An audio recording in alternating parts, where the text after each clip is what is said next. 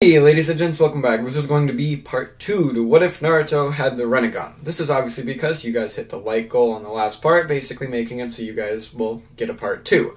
So, I never actually mentioned this too much because, you know, I never really do, but I actually do have a Discord, and I have left, I'll leave a link to that in the description of this video, so make sure to go check that out and discuss some weird topics, because there's a lot of weird things that go on in the Discord don't question it. So, with that being said, the like goal on this video for you guys to get a part 3 will be 150 likes. And with that being said, let's just, you know, do a little brief recap of what happened in the last part. So Naruto was born with the Rinnegan. He didn't have some weird way of acquiring it later on in the story. So he basically, when as he was like growing up, would be basically feared and respected throughout the village. Uchiha would resent him, you know, before they got massacred by Itachi, and Naruto would then graduate from the academy, being placed on Team 7 just like in the original with Sakura and Sasuke. He defeats Kakashi in the bell test using teamwork to be able to basically actually pass it. Before getting assigned a C rank mission, he defeats the Chunin brothers completely by himself. And in the last part, we actually like left off with Naruto basically ducking under the sword as Zabuza basically just kind of chucked it at him. So, with that being said, let's actually get into the new material of this what if. Naruto activates his Rinnegan because I'm giving him the ability to deactivate and activate it and everything like that, just because, you know, I can. And he basically tells Kakashi, he's like, I'm gonna fight him before Naruto starts running towards Zabuza. Kakashi obviously wouldn't exactly appreciate this, but he can't really do anything because he didn't even have his headband lifted yet. Naruto has the Rinnegan.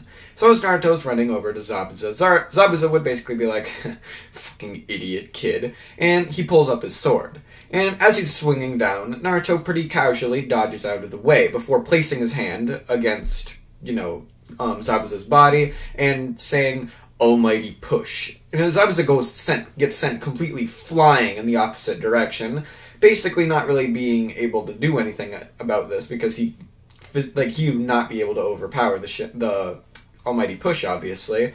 And he's just like, wait, what? How did. And then Naruto says, Almighty pull, and a black receiver rod comes out of Naruto's hand, and he just slams it right into Zabuza, pinning him to the ground. Zabuza's like, wait, what? I can't move, I can't move. Naruto makes a few more of these receivers and starts placing, placing them all around Zabuza's body.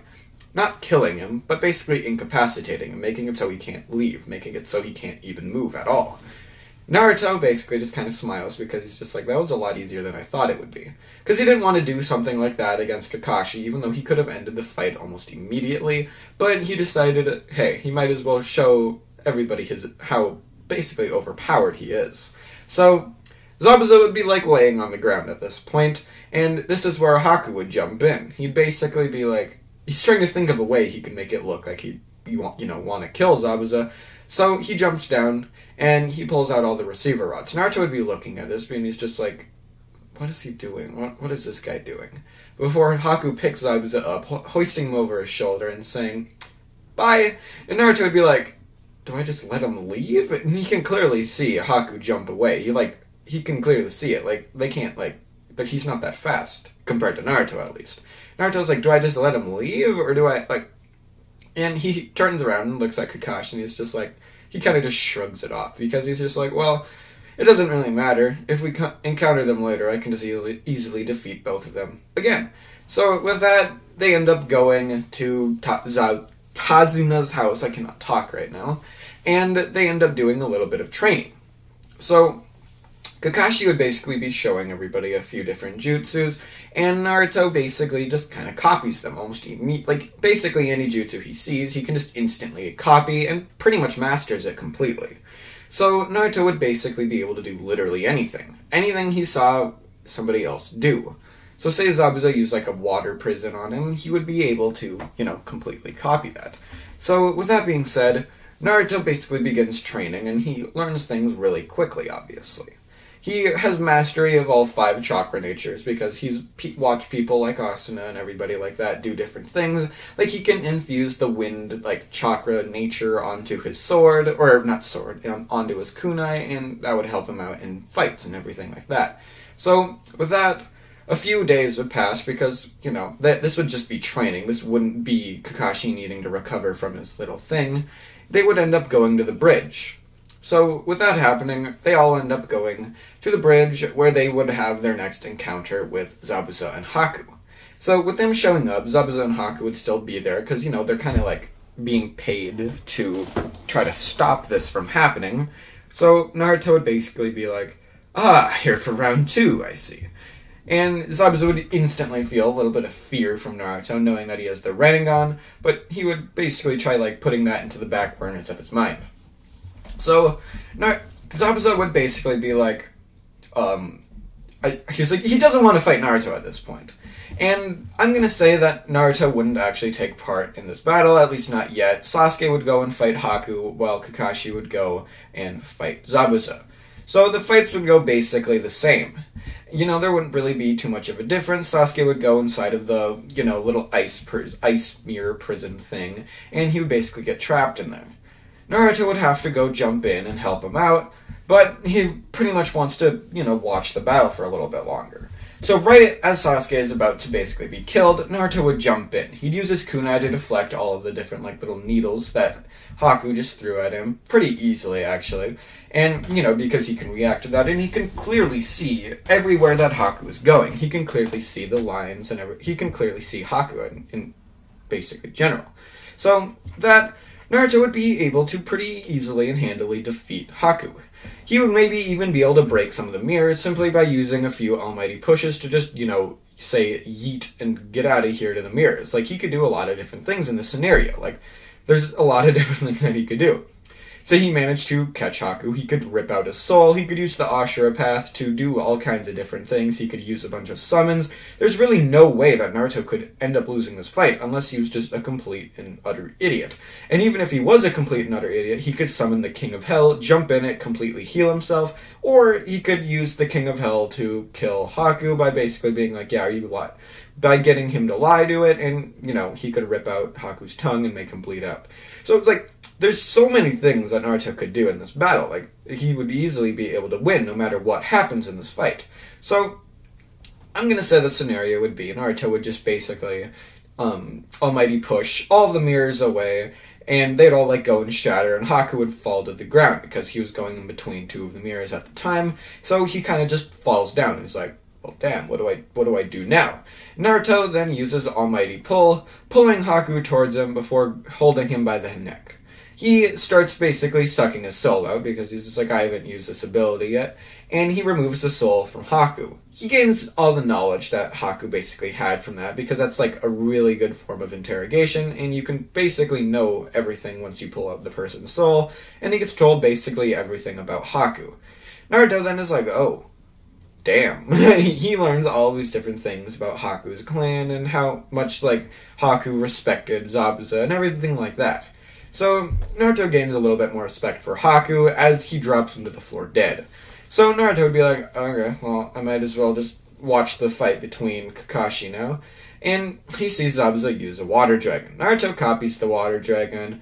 Z- ha- um, Nar- Ugh, my god, what am I talking about? Then Zabuza would trap um, Kakashi inside of a water prison, and Naruto would copy that jutsu, but then he would basically run up, basically, you know, go a little bit closer before using Almighty Pull, sucking Zabuza out of the water prison, basically making it so that he couldn't have his hand in it, and Kakashi would be outside of the water prison now, and then Naruto would basically just kind of grab Zabuza and be like, well, I might as well learn a few things about you, and he ends up ripping Zabuza's soul out as well.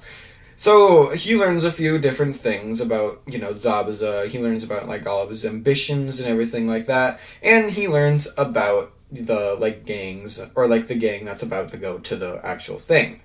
And as he's like taking in all this information, the gang would actually show up. Naruto would drop Zabuza to the floor, and Naruto would basically walk over there. He walks up straight to the gang leader, basically no nobody else even being able to scratch him or like so much as like touch him at all, really. And he straight up just walks up to him. He grabs him and he rips out his soul too.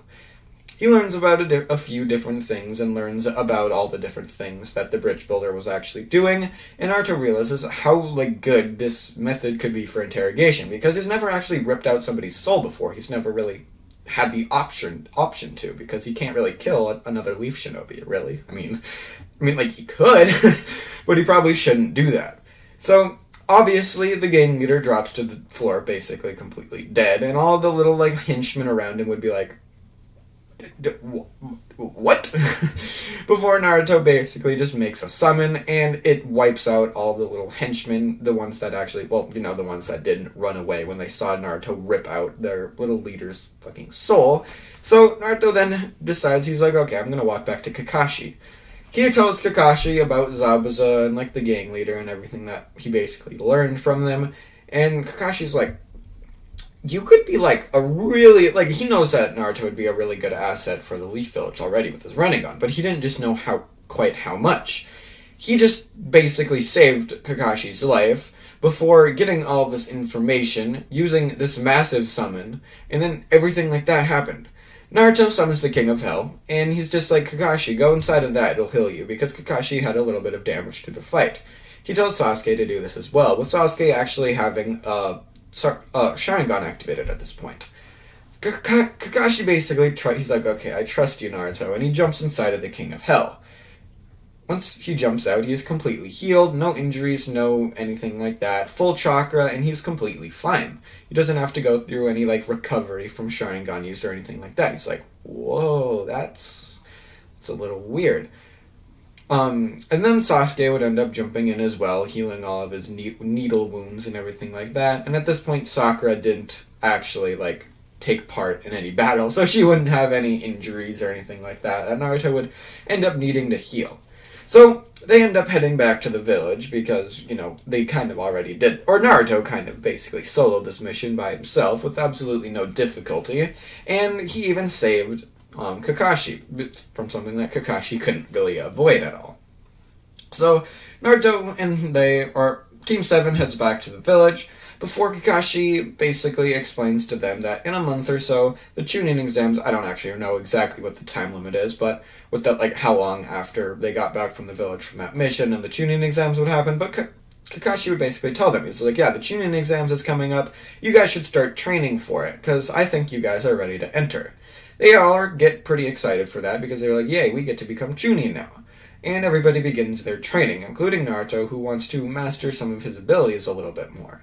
He watches more fights go on, and he learns more different, like, jutsus and everything like that. So, with that, Naruto then enters the Chunin exams. But that's where I'm going to leave this part off. So, I'll see you guys in the next part. Peace out. Bye.